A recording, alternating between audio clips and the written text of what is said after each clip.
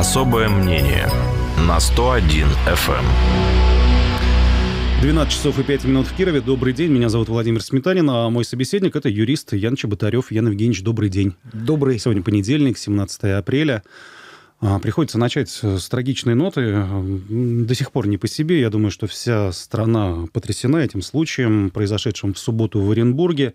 Стая собак не говорю бродячих, потому что у меня вот есть какое-то сомнение в том, что абсолютно эти бесхозные, без, без хозяина животные. Стая собак набросилась э, среди гаражей на девятилетнего мальчика. Мальчик погиб. Сейчас читаю на сайте Следственного управления по Оренбургской области.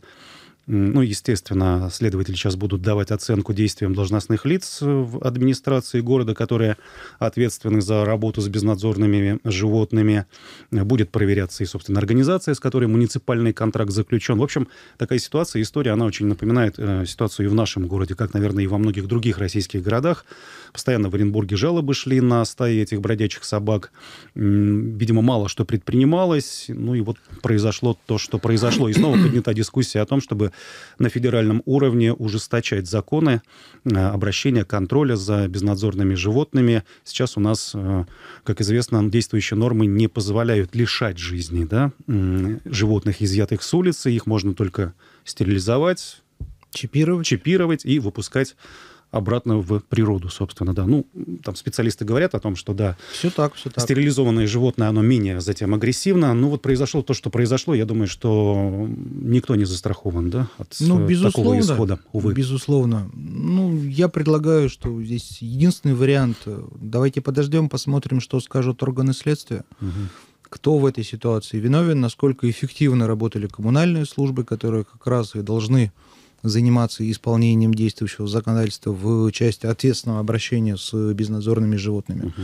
Может быть, эти животные они не, являли, не являлись безнадзорными. У нас очень часто собаковладельцы допускают самовыгул, так Самовыгул. называемый. Ну, да. мы же понимаем, сейчас весна, да, там понятно, что с животными происходит, и велика ведь вероятность того, что обычная домашняя собачка, она тоже прибьется к этой стае и будет, да, вместе со всеми животными. Ну, я здесь, как э, сам собаковладелец, угу. не вполне понимаю своих коллег во многом.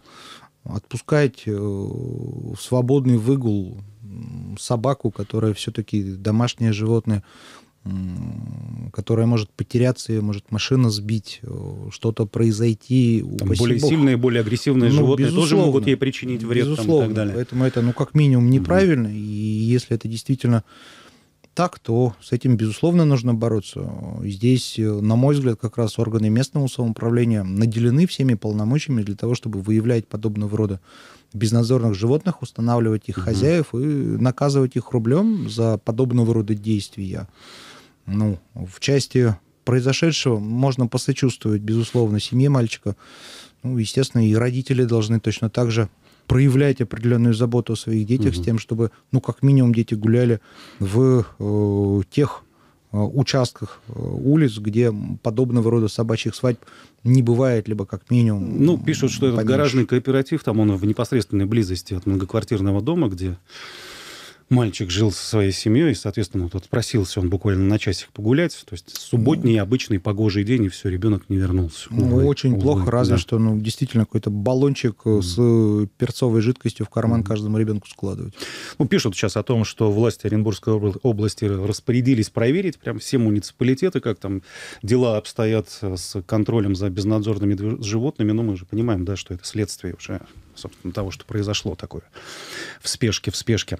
Еще одно дело, уже в Кировской области тоже хотелось бы, чтобы вы прокомментировали, когда новость эту прочитал, как-то так задумался, а как, разве такое может быть? Подросток тоже погиб, а суд обвиняемых оправдал. Я имею в виду событие в Котельниче в августе прошлого года. Mm, стройка. Да, вы, не стройка, там заброшенное э, разборка, здание, здание школы. Здания, да, муниципалитет продал mm-hmm. одному предпринимателю, этот предприниматель нанял еще одного, а тот уже, собственно, при, привлек к разбору этого разрушающегося уже здания подростков 14 и 15 лет. Там рухнуло перекрытие, один из них погиб, второй получил э, серьезные травмы, но, слава богу, жив остался. И вот на днях Котельнический районный суд оправдал обвиняемых. Как так такое может быть? Ну, Человек погиб, а возможно, все. Мы, мы, ну, мы, к сожалению, не знаем все подробности да, этого дела. Володя, рассуждать э, о перспективах развития того или иного уголовного дела, либо как-то критиковать э, вынесенный судом приговор, не будучи знакомым с материалами, uh-huh. это не совсем правильный путь. Если суд э, такое решение принял, наверняка а, какие-то причины для такого оправдательного приговора у него имелись. Uh-huh. Любая сторона, не согласная с решением суда, она может э, подобный приговор обжаловать я думаю, что здесь велика вероятность, что такие жалобы будут. Угу. И не исключаю, что мы с вами к этой теме вернемся спустя какое-то время, когда угу. областной суд, например, рассмотрит э, представление прокуратуры угу. либо жалобу э, семьи потерпевшего. Ну, там э, интересный нюанс. Моральный вред даже возместили обвиняемые да, родителям детей, и вину-то они свою признали. Ну, здесь меня это нисколько не удивляет. Э, человек, не сведущий в юриспруденции, может по горячим следам признать себя виноватым в чем угодно, компенсировать любой, собственно говоря, причиненный э, вред, угу. и потом с удивлением увидит и ему разъяснят о том, что на самом деле в его действиях состава правонарушения просто нет. Угу. Здесь э, вот подобного рода действия, на мой взгляд, все-навсего характеризуют обвиняемых, подсудимых, как людей ну, достаточно взвешенных и разумных. Угу. Естественно, что они могли быть и не виноваты. Другой вопрос о том, что они могли и в том числе предпринять дополнительные усилия со своей стороны, выставить какую-то охрану, ужесточить э, пропускной режим с тем, чтобы вот на подобного рода стройплощадку в разрушающийся дом э, посторонние просто mm бы не проникли. Ну, смотрите, нет, ребята-то они работали, их привлекли ну, непосредственно ну, еще к раз, разбору. Здесь, да. здесь много сомнений лично у меня есть, но опять же, я считаю, что все-таки правильно воздержаться пока от каких-то комментариев. Угу. Слишком мало э, достоверной информации. А как вообще вы оцениваете работу властей муниципалитетов вот, по поводу закрытия, да, недопуска кого, кого бы то ни было на объекты там, бесхозные, разрушающиеся. Их ведь у нас очень много. Ну, согласен. И в, в, в областном случае, центре мы их видим практически, да, В том регулярно. случае, если э, какой-то объект недвижимости является частным домиком э, и находится в частном владении, вот здесь я вижу наличие большего количества проблем, нежели если этот объект недвижимости находится в виде муниципалитета либо mm-hmm. какого-то государственного органа или учреждения. Все-таки государственные структуры больше внимания уделяют э, подобного рода вопросам безопасности окружающих. Mm-hmm. И прокуратура их более внимательно контролирует, нежели если это и действительно просто обыкновенный частный дом. Частное лицо, да. Может быть, нам, не знаю, программу какую-то отдельную организовывать на уровне муниципалитета, не знаю, на уровне области. Ну, в данном случае... С целью более так, да, жесткого такого В обязанности контроля. муниципального образования город Киров а, вменены требования по проверке качества содержания подобного рода объектов недвижимости. Угу. И достаточно регулярно различного рода комиссии муниципалитета должны подобного рода объекты проблемные осматривать на предмет наледей, наличия каких-то сосулек, угу. ограждений, строительных площадок э, с тем, чтобы не допустить причинения какого-то вреда здоровью окружающим. Угу. Ну, кстати, да, у нас сейчас э, в муниципалитете такой, такой взят курс да, на, если ликвидируется старое ветхое там, расселенное здание, то организовывается на его территории какие-то общественные пространства, парки, там, скверики разбивать. Депутаты городской думы говорят о том, что неплохо бы предпринимателей привлекать к обустройству этих территорий. Пусть они там, не знаю, какой-то павильончик организуют, какие-то услуги, товары. Вы тут э, какой точки зрения придерживаетесь? Ну, не функция бизнеса Чем... выполнять да. действия, которые вменены законом в обязанности угу. муниципального образования все-таки дело бизнеса зарабатывать, да? Да, зарабатывать деньги. Другой вопрос о том, что если совместить государственное частное партнерство, например, предоставить какую-то льготную аренду земельного участка для предпринимателя с целью размещения там нестационарного торгового объекта, угу. одновременно возложив обязанность, например, по демонтажу какой-то развалюшки. Ну, почему нет? Это возможно, угу. и, на мой взгляд, как раз э, развитие Э, ситуации. В этом и находится, в этой области. Угу. Администрация города Кирова, на мой взгляд, должна достаточно более эффективно э, принимать усилия для того, чтобы привлекать бизнес к участию в подобного рода социальных проектах. Угу. Еще одна новость тоже хотелось бы обсудить. В конце прошлой недели, недели поступила эта информация. На мой взгляд, да и не, на, не, не только на мой, там телеграм-каналы уже начали сравнивать ситуацию с прошлыми годами. В общем, речь о том, что у нас прошедшей уже зимой огромное количество пострадавших от гололеда, от упавших э, с крыш сосулек, снега и так далее. Почти тысяча человек. 960. Э, в 2021 году якобы было в два раза почти что меньше различные травмы получили люди. Вот у меня мысль созрела, а если бы все это вылилось вот в такое же точно э, количество исков, поданных подрядчикам, к администрации. Может быть, это способствовало тому, чтобы у нас за чистотой улиц и тротуаров э, следили лучше в ну, городе? Вы знаете, Володя, я думаю, что да, безусловно. Самое больное место у любого собственника, у любого mm. предпринимателя, у любой организации – это их карман. Казна, казна, ну, бюджет. Ну, естественно. Да. Я участвовал в нескольких делах подобного рода, э, когда мы взыскивали моральный, материальный вред, э, причиненный причинением вреда здоровью. В одном случае это даже касалось жизни человека, угу. который упал у сельхозакадемии угу. на а, тротуаре. вы, вы непосредственно были связаны, да, с Я представлял с этим потерпевших, случаем. да. Просто один из самых нашумевших таких, Ну да, да, да. да. Случай. Прискорбный случай, да. Угу. Значит, взрослый человек, к сожалению, лишился жизни просто из-за того, что не посыпали противогололедной угу. смесью угу. э, тротуар. Ну, взыскали в пользу потерпевших, конечно, достаточно неплохую сумму, угу. свыше миллиона рублей, но человека это не вернуть. Да. Ну, безусловно. Там был суд. Там был да, суд. Мастера и... затем да, ну, судили. Здесь в меньшей степени интересно то обстоятельство, что э, двумя годами условного лишения свободы угу. ограничился суд, постановляя свой приговор. Ну, были удовлетворены моральный вред, компенсация была взыскана достаточно большая, как угу. я уже сказал. Другой вопрос, что, на мой взгляд, конечно, определенные претензии к нашим коммунальщикам в части содержания как раз э, улично-дорожной сети предъявить было возможно в этом году точно. Я не очень активный пешеход, угу. в основном передвигаюсь на машине, но тем не менее не всегда а, и где-то, э, проходя по улицам города, от ближайшей парковки в здание, например, любого общественного учреждения, ну, так суда. Ногами, конечно, ногами конечно, конечно. Скользко было, скользко было весьма, весьма. Угу. Приходилось внимательно очень э, перемещаться по городу Кирову с тем, чтобы не травмироваться. Угу. Жалко. Здесь во многом, во многом можно попенять не столько даже каким-то государственным службам, сколько банально управляющим компаниям. Почему? Потому что дворники, которые призваны чистить тротуары, находятся, как правило, в ведении управляющих компаний. Ну, конечно, а все да. они у нас, как правило, частные. Угу. И здесь э, заставить их более эффективно работать можно только в том случае, если за каждое подобного рода нарушение правил содержания общедомового имущества, угу. придомовой территории, они будут отвечать рублем. И здесь я могу, наверное, просто призвать наших сограждан не молчать и достаточно активно защищать свои права. Давайте напомним вообще конкретную процедуру, как действовать. Вот идешь, идет человек, поскользнулся, упал, упал чувствует, болит, вызывается, болит Вызывается, сильно. можно прямо на месте, mm банально вызвать полицию. Значит, зафиксировать данный факт. Если без каких-то травм обошлось больших, кончилось там синяком, а, поврежденной одеждой и так далее, обращайтесь в лечебное учреждение, фиксируйте данный mm факт, указывайте, что упал там-то, там-то. Можно сделать э, фотофиксацию, mm-hmm. то есть просто пофотографировать э, те повреждения насильных вещей, верхней одежды, которые были причинены.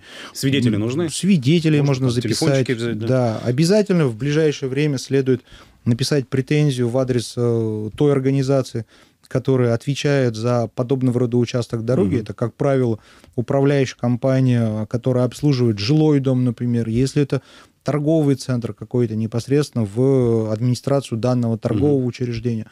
То есть и дальше уже, в зависимости от э, реакции э, виновных лиц, это решается либо полюбовно в досудебном порядке, mm-hmm. либо все это перетекает в судебное разбирательство. И в рамках Гражданского кодекса подобного рода компенсации, я думаю, будет взыскано, безусловно. А как осознать, вот так интересно тоже для меня, по крайней мере, вопрос, а как оценить свои переживания, свои травмы, э, моральный ущерб? То есть, не знаю, наглеть, наверное, особо не надо, ну, там, требуя какую-то, ну, чересчур уж такую завышенную все сумму. Зависит, все зависит от э, степени причиненного вреда. Угу. Если все кончилось элементарным синяком, ну, конечно, рассчитывать на какие-то миллионы рублей не приходится, угу. но, тем не менее, сам по себе факт повреждения, синяка, получения ушиба какого-то, повреждения одежды уже достаточно для того, чтобы взыскать стоимость поврежденной одежды, угу. химчистки, Э, за каждый синяк, ну, несколько тысяч рублей, я думаю, отсудить э, проблем не составит. Угу. Ну, э, не говорю уже о том, если человек там, тот, фу, к сожалению, получил там более серьезные травмы, и это ну, там, привело к тому, идет, что ему на больничный пришлось если уйти, речь там, на лекарства идет, Да, если далее. речь идет о каком-то существенном вреде, утрате трудоспособности временной, упаси бог, вывиху, перелому, не дай бог, mm и так далее. Но тут, конечно, суммы гораздо-гораздо выше, исчисляются уже десятками тысяч рублей, и в зависимости от последствий даже сотнями. Ну, в общем, рекомендация всем нам, да, не молчать в таком случае. Безусловно, если мы хотим, чтобы, на чтобы правах, наши коммунальщики да. лучше работали, нам угу. нужно за это бороться. Угу. Какие-то все у нас с вами такие темы, связанные с происшествиями. Тоже хочу спросить, вы уже сказали, да, что активно передвигаетесь на автомобиле. Всплеск числа дорожно-транспортных происшествий у нас в городе, в том числе наезды на пешеходов, прямо вот в ежедневном таком формате формате.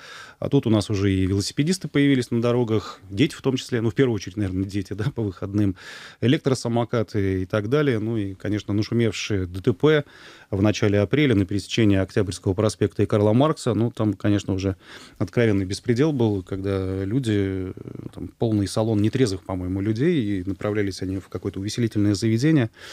Ну, вот двое погибших. Э, что это? Недоработка госавтоинспекции, это общее состояние, низкий уровень водительской культуры, не знаю, сезонная какая-то фишка. С чем вы связываете? А здесь комплекс. Здесь комплекс, комплекс проблем, которые нужно решать. Я не устаю говорить о том, что, на мой взгляд, количество э, сотрудников ДПС в городе Кирове, сотрудников ГИБДД э, достаточно небольшое. Э, у меня есть знакомые, которые проходят службу в органах госавтоинспекции. Угу. Безусловно, того количества патрульных экипажей, которые есть, недостаточно для эффективного контроля за текущей ситуации. Плюс, но к мы, сожалению, но не до конца... Мы, извините, что перебиваю. Да. Мы, к сожалению, не можем э, там, по собственному желанию увеличить число ставок там, дорожных полицейских. Мы должны об этом с вами, Володя, говорить, говорить. с тем, чтобы э, Это же наши федер... слушатели... Федеральная реформа была. Ну, да. безусловно, да. наши слушатели, которые во многом наверняка обличены отчасти и какими-то полномочиями, я более чем уверен, что нас с вами слушают и сотрудники в достаточно высоких чинах, угу. прислушивались к нашему мнению как обыкновенных горожан. Я регулярно сталкиваюсь с элементарным бескультурием со стороны наших водителей на самом деле. Вот меня все время учили соблюдать рядность при повороте налево, направо, соблюдать э, требования знаков рядности и так далее. И вот как раз подобного рода проблема, на мой взгляд, она показывает, потому что ну, откровенно наши водители спешат и не понимают, угу. что поспешив в желании сэкономить лишние 2-3 минуты на осуществление любого маневра поворота mm-hmm. налево-направо, не соблюдая рядности, они создают угрозу прежде всего и для себя, и для окружающих. Mm-hmm. И это запросто может привести к достаточно тяжелым последствиям. Ну, это одна из основных да, причин, По поводу из самокатчиков распространенных ДТП. То же самое могу сказать о том, что, на мой взгляд, давно назрела необходимость законодательного регулирования угу. подобного рода использования средств передвижения. Угу. Ну, признали транспортным средством, да, как мы знаем, да, электросамокаты. Ну, вот создается, да, такое ощущение, что местным властям, ну, вот в качестве упреждения, что ли, да, профилактики надо задуматься. На мой взгляд, там на уровне э, городской думы можно там, попытаться ввести какие-то ограничения. Я бы не исключил даже ужесточение э, требований в части доступа на дороги общего пользования для велосипедистов, которые зачастую не понимают, э, что велосипед это такое же транспортное средство. И элементарные правила дорожного движения, например, то, что на велосипеде движущемся нельзя переезжать улицу через, например, пешеходные, пешеходные переходы. Да, переходы. Будь любезен, собственно говоря, переведи его в ручном режиме угу. и дальше добро пожаловать. Э, ну, ну какая-то разъяснительная работа должна быть. Может быть, опять же, здесь действительно просто нехватка действующих сотрудников ГИБДД. Угу. А может быть, несовершенство пресловутых камер э, фиксации нарушений, э, которые у нас установлены в значительном количестве по городу Кирова. Несовершенство да, самой системы. То То есть не все попадают в поле зрения, Да. не, не все, собственно, Я знаю о том, что у нас, у нас Мгм. неплохо отслеживаются движения на запрещающие сигналы светофора. Да. У нас отслеживаются Пару лет назад нарушения я получал такое скоростного, письмо. Да. скоростного режима. Было. У нас начали отслеживать внимательно достаточно пользование ремнями безопасности. Мгм, мгм. Но остальные это нарушения правил дорожного движения тоже Мгм. Ведь нужно как-то фиксировать. Другой вопрос, что если, например, даже эта камера покажет, что какой-то велосипедист нарушает правила, опасно маневрирует, э, где-то ездит по пешеходному переходу, либо там сбивает даже пешехода, я тоже был очевидцем подобного рода случая как-то. Ну, как найти вот этого непосредственного человека? У нас велосипеды пока не регистрируются никак, и даже если зафиксировать подобного рода нарушения, установить конкретного виновника бывает проблематично. Мгм. То есть вы за то, чтобы какую-то регистрацию процедуры проходили велосипедисты, чтобы можно было их Хотя бы- идентифицировать каким-то Хотя бы образом, да? упрощенную какую-то, Мгм. да. Я считаю, что подобного рода проблема, она назрела. Мгм. Ну, по крайней мере, найти потом виновника происшествия будет... Гораздо Да, легче. гораздо легче, когда камера четко покажет, вот, не знаю, это что там будет, идентификационный номер какой-то или что. В Казани, например, в 2021 году озаботились до серьезной э, этой проблемы электросамокатчиков. Там вообще возрастное ограничение ввели. Если тебе не исполнилось 16 лет, ты не можешь пользоваться этим видом транспорта. Может быть, у нас тоже подумать Ну, в целом это разумно. а, в целом этим? это разумно, тем более, что все подобного рода э, транспортные средства, они позволяют развивать весьма приличную скорость, э, превышающую даже скорость того или иного велосипеда. Мгм. Ну, В, сеть- в в в сети полно видео выкладывается, да, когда Тем более, что сами по себе... движется и там Конечно. на спидометре, какое значение. Тем более, что сами по себе подобного рода средства Мгм. передвижения в виде там, этих же электросамокатов, моноколес и так далее, они достаточно травматичны. Мгм. Они как раз не имеют ни подушек безопасности, ни тормозных каких-то приспособлений более эффективных, ни ремней безопасности и так далее. И здесь, э, на мой взгляд, назрела уже острая необходимость государству где-то начать вмешиваться в подобного рода действия граждан. А как, э, опять же, человек, активно пользующийся автомобилем, как оцениваете состояние дорожного полотна этой весной? Насколько оно способствует совершению правонарушений, дорожно-транспортных происшествий? Мы же знаем, да, когда человек Две об- традиционные объ- беды объезжает, России, да. две традиционные беды России никуда не делись. Значит, э, и одна, и другая способствуют э, наличию проблемы не только у автомобилистов, Мгм. но и у обыкновенных граждан-пешеходов. И, конечно, хотелось бы, чтобы качество содержания дорожной сети э, год от года становилось все лучше, лучше, лучше. Но пока такой тенденции я не Л- наблюдаю. Лучше, хуже, так уж простым языком. Да похуже чего-то сейчас становится. Похуже? Труд- По-моему, похуже. Труднее лавировать Ямок- становится между ямами. Ямок да? больше становится. Мгм. Я не знаю, чем вызвана подобного рода нерегулярность в обслуживании дорожной сети. Может быть, недостатком финансирования, может, наличием каких-то иных масштабных проектов Мгм. по реконструкции отдельных э, элементов дорожной сети города Кирова. Не исключаю и такой вариант. Но этим надо заниматься постоянно. Я регулярно вижу о том, что какие-то работы ведутся на различных участках тех дорог, по которым я, например, ежедневно проезжаю. Но, на мой взгляд, не очень быстро и не очень эффективно. Мгм. Вот я все время задаюсь этим вопросом. Может быть, э, ответственных за состояние конкретных участков дорог, не знаю, привлекать к ответственности за создание некой угрозы? Не знаю, там, оставление в опасности. Но небезопасно же передвигаться по этим дорогам. Я слышал много версий, Володя, Да. почему такие проблемы с дорогами в городе Кирове и. Кировской области. Кто-то говорит, что грунты у нас какие-то особые, кто-то пеняет на отсутствие... да? Да, кто-то пеняет на отсутствие ливневой канализации, которая отводит в воду от дорожного полотна, в результате чего наши дороги разрушаются. Кто-то говорит о том, что ну, большого интереса нет в том, чтобы сделать дороги раз и навсегда. Легче каждые полтора, два, три, четыре, пять лет э, Осваивать получать, бюджеты, получать бюджетные да, деньги да. на э, ремонты. М, Не знаю, Мгм. не знаю. Э, С юристом Яном Чеботаревым мы сегодня беседуем в передаче «Особое мнение». Сейчас у нас будет небольшая рекламная пауза. Полторы минуты она продлится, после чего мы вернемся. Особое мнение на 101 FM. Юрист Ян Чеботарев в нашей студии. Продолжаем а, наш разговор. Не так много времени у нас остается. Ян Евгеньевич, вы следите за новостями о, подготов... о подготовке к 650-летию города? Вот все, все больше и больше мы, по-моему, об этом Левым говорим. глазом. Ле- левым глазом. Ну вот, в частности, у нас обсуждается сейчас установка памятника Александру Невскому. Ну, это отдельная Вы сказали до тема. эфира, да, что тема вас зацепила в определенном смысле. Ну вот это одна из идей, да, установить памятник рядом с Вятской филармонией. Там такое очень нагруженное по смыслам место. Тут и филармония имени Чайковского, и парк имени Гагарина, и монумент там есть, посвященный я не бойцам вполне, в горячих Володя. точках, и тут еще и памятник Александру Невскому. Ага. Ну, мы понимаем, да, это в память о соборе, который находился Ну, как да, раз в этом вот месте. Меня-то зацепила Мгм. подобного рода тематика. Почему собор э, святого благоверного князя Александра Невского в Вятке был построен в знаменование приезда государя-императора Александра I. Да, все верно. В 1824 Да. году он посещал Может быть, тогда имеет смысл ему памятник поставить? Александру Первому, Ну соответственно. да, тем более тоже личность историческая, интересная, в Вятке бывавшая, и не так много у нас памятников э, Александру Первому на территории Российской Федерации установлено. В отличие, кстати, от э, памятников э, Александру Невскому, который в Вятке никогда не бывал.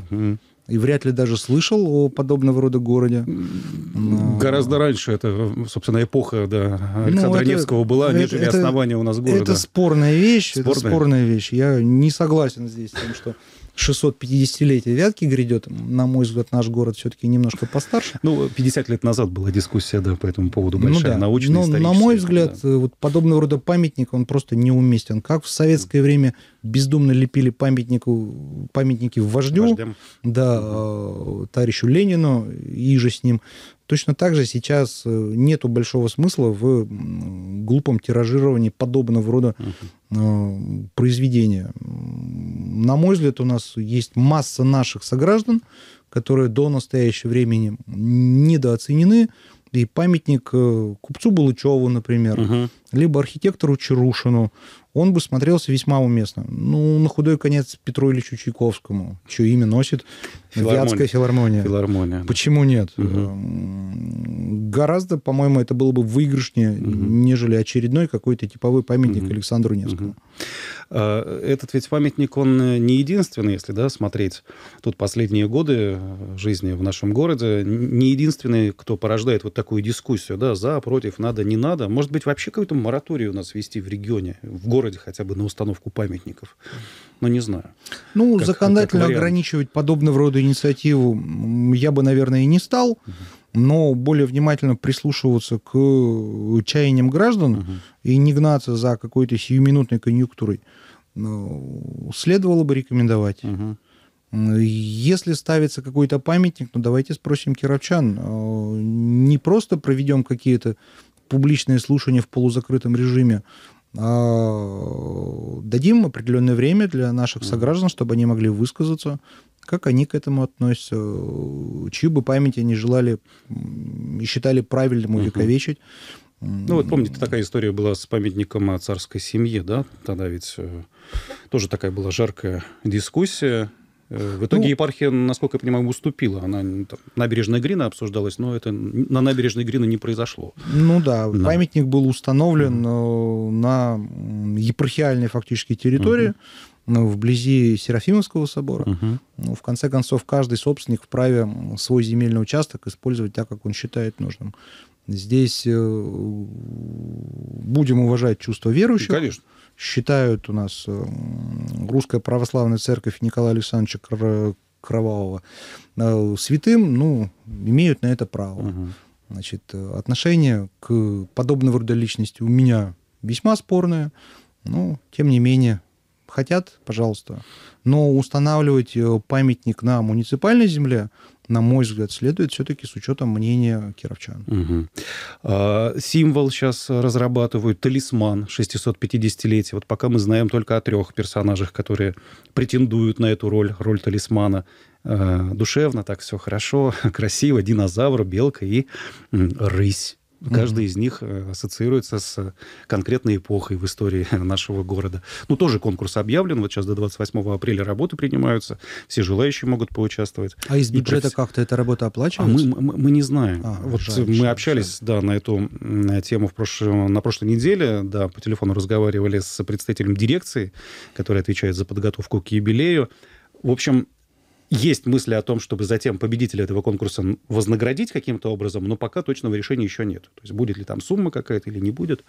Ну, насчет... Вам нужен вообще талисман 650-летия? Вот конкретный образ, с которым у вас будет ассоциироваться эта круглая дата. Ну, я бы не считал, что это острая потребность, угу. тем более, что, простите, здесь, э, опять же, очень велико у меня желание усомниться в части, например, того, что динозавр какой-то является символом 650-летия э, Вятки. У нас вблизи города Кирова, вблизи э, нашего города, угу. ну, никакого кладбища ископаемых ящеров нету. Ну, париозавры котельнические. Ну, ну это котельнич. Это котельнич. Да. Вот когда будет праздноваться тысячелетие, например, котельнича, угу. ну, почему нет? Угу ну, динозавры и вятка, ну, как-то это, на мой взгляд, немножко разные вещи. Это вызывает ассоциации какие-то, да, в том числе какие-то смешли... белочку, смешливого такого плана. И белочка тем более, ну, да. белочку я бы, наверное, еще согласился бы, собственно говоря, здесь как-то воспринять, потому что я помню герб Кировской области, угу. на котором была изображена белочка. Угу. Значит, э, рысь, ну, опять же, вот сколько я живу, больше 50 лет в городе Кирове и Кировской области, я рысь в природе не встречал. Угу. Да, слава богу. Ну, наверное, да. Значит, э, Суровая кошка, опасная. Ну, наверное, да. да. И как-то не соотносится у меня подобного рода зверь угу. с образом кировчанина. Не буду оригинален, если бы передо мной стоялся такой вопрос, ну, я бы, наверное, конечно, дымковскую игрушку предложил. Угу. А, еще одна тема, видимо, пара минут у нас остается. Вот тема, которая понятна, знакома каждому из нас. В общем, у нас э, губернатор новый, и на нового губернатора тоже вот свалилась эта ответственность высказаться по поводу перехода Кировской области в другой часовой пояс жить ли нам по Москве или уходить от этого часового пояса. Но Александр Валентинович на прошлой неделе сказал, что проводилось социологическое исследование, и результаты его говорят о том, что 60% жителей Кировской области считают, что это не актуальный для нас вопрос. Есть задачи поважнее. С периодом стрелок согласны лишь только 20%. Если проводить референдум по этому вопросу, то, по словам губернатора, это будет бесцельная трата денег, потому что большинство все равно, э, видимо, выскажутся против вы к какому, какой, какой группе принадлежите? Я примкну к большинству. К большинству, 60%. Я не вижу, я не вижу острой необходимости в введении э, местного времени. Меня устраивает э, исчисление времени, которое принято в настоящий момент, э, тем более, что, если мне не изменяет память, от астрономического времени от Москвы мы, по-моему, отстаем минут на 20 всего. Угу. И здесь я помню, я застал время, когда у нас был разница в час, угу. это было не очень удобно.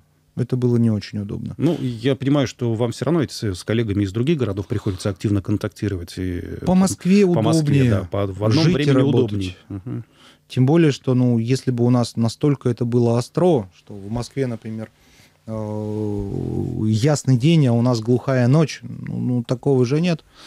Угу. Кто-то говорит о том, что да, странно, что солнце в Кирове, например, сейчас встает где-то в 4 часа утра с угу. минутами с какими-то. Угу. Ну, слава богу, это, на мой взгляд, только радоваться следует. Угу. Зимой у нас обратная ситуация, чего нам каждые полгода где-то дергать часы туда-сюда, сбивать биологические ритмы каждого гражданина. Зачем? У нас есть другие проблемы, э, на которые наши власти могут о которых мы, больше времени. О которых мы сегодня поговорили. Да, да. в том числе. Да, и здесь числе. губернатор, на мой взгляд, абсолютно здраво оценивает э, необходимость таких управленческих решений. Завершается э, время нашего разговора. Спасибо, Яныч Батарев, юрист. Всего доброго, хорошего дня. Спасибо, до свидания. До свидания. Особое мнение на 101 FM.